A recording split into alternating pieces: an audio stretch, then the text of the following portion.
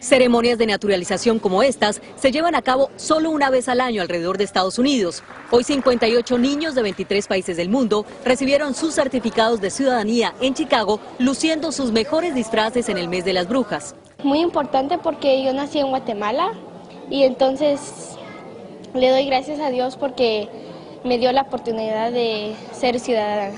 Emocionado.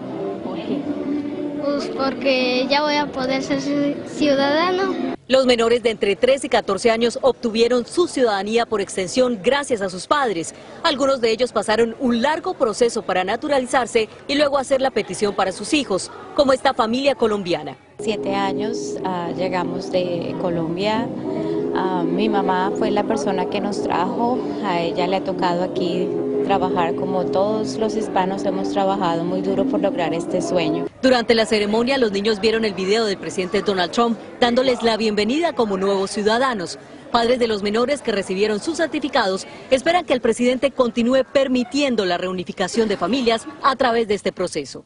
Menores de Colombia, Ecuador, México y Guatemala son apenas algunos de los que recibieron sus certificados como nuevos ciudadanos el día de hoy, un beneficio migratorio que sus padres esperan que otras familias inmigrantes continúen recibiendo. En Chicago, Viviana Ávila, Univisión.